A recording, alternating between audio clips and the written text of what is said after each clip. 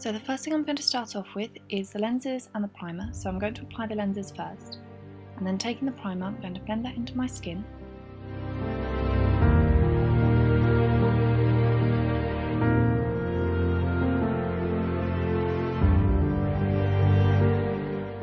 Once that's blended in, I'm going to be using two different things. I'm going to be using a BB cream, and then once that's blended into my skin, I'm going to be using a concealer which is completely the wrong skin tone for me, but that's fine because it's going to help for the overall look.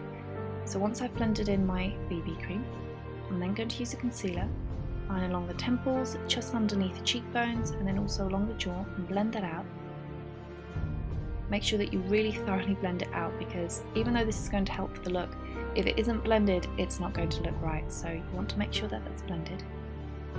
With Sugar Pills Lumi, I'm going to take that and line right down the centre of the nose, also in the centre of the face and along the cheekbones, and then we're going to be doing a bit of an S shape down the face, so a bit on the chin and make sure that it's blended out. Once it's blended out, we're going to attach the crown, and it's quite simple to attach this. First of all, you want to place it on your head, obviously.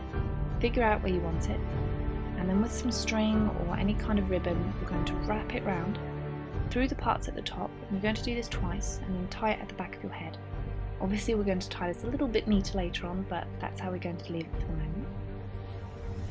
For the eyebrows I'm going to be using a concealer which is pretty close to my skin tone, and I'm going to take this right through the brows to make them a little bit paler. I'm not terribly fond of covering up my eyebrows with scar wax or anything like that, so to cover them up I'm just going to be using a concealer and now with the prosthetic attachments that I made, I'm going to be using these to cover the eyebrows. All I'm going to be doing is that wherever my eyebrows aren't, that's where I'll apply the glue, so no glue actually touches my eyebrows. For the makeup we're going to be using three different colours. We're going to be using a light pink, which we're going to dust all over the upper lid and the lower lid, a darker brown right into the crease and a little bit on the outer corner as well, bringing it all the way underneath the eye. And finally we're going to finish off with just a slightly darker colour keeping that on the outer corner of the eye before finishing off with Lumi again on the centre of the lid and in the inner corner. Now we're going to be using a bit of face paint, though of course you can use black eyeshadow as well, and we're going to be using this to make the prosthetics on the face look a little bit more interesting by creating textures around where we've applied the prosthetics. So any little patterns that you feel blend in nicely or really complement the shapes, you're going to add those and then also any little areas that the latex might not have covered very well or didn't attach well to the glitter, cover that up with the face paint too.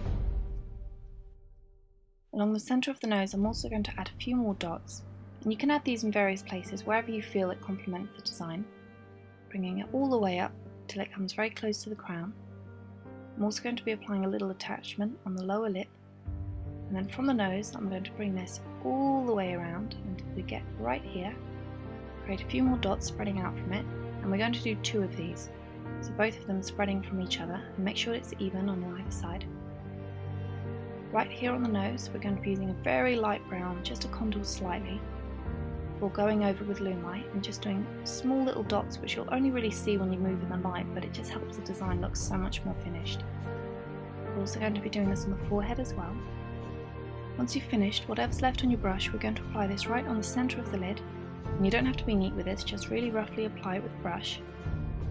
Take that same loose powder and we're just going to run it along the cheekbones before finishing off with some rhinestones. I'm going to be using three larger rhinestones right here, and then also one right on the outer part of the eye, and then finish off with smaller rhinestones all leading up towards the nose. Once the glue's dried and you've applied them everywhere you want, we're going to be going back to the nose with the face paint, but again, you can use black eyeshadow if that's what you prefer.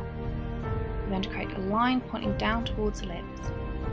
Also don't forget to finish off with some false eyelashes right on the upper lid, and we're just going to do some very small delicate lashes, nothing particularly overpowering. And to finish off for the lips, what we're going to be doing is using a pout paint, create two lines upwards, before finishing one very strong line right on the lower lip, Blend it all out before outlining everything with Lumi, bringing that same shadow along the collarbone, finishing off with a few rhinestones. And that's it, you're done.